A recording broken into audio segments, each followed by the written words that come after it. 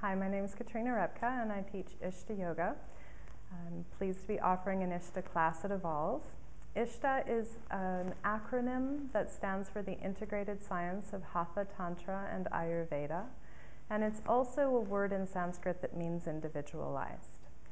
So in each Ishta class, I'm aiming to target the practice to the individuals in the group as well as the group at the whole, as a whole, taking into account the seasons, each um, time of day, and the way that I would like people to end up feeling at the end of the practice, which is balanced and happy to step off the mat and out into life.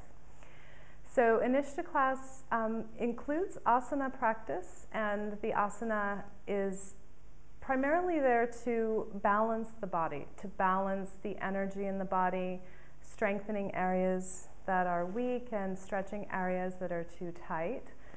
So we work in an hour-long class with some breath awareness, and then we move into the physical practice, which can be um, quite energizing um, and balancing. So we tend to get people in the classes who want not only a physical workout, but also a spiritual workout, if I can say that, whereby at the end of the physical practice, then we sit and we connect with the breath, and through the breath, then we begin to still the mind. So the measure of the practice for me is not so much how you do on the mat and how whether you can stand on one finger, but it's more how you feel when you walk away and whether you're happier and more balanced in your life.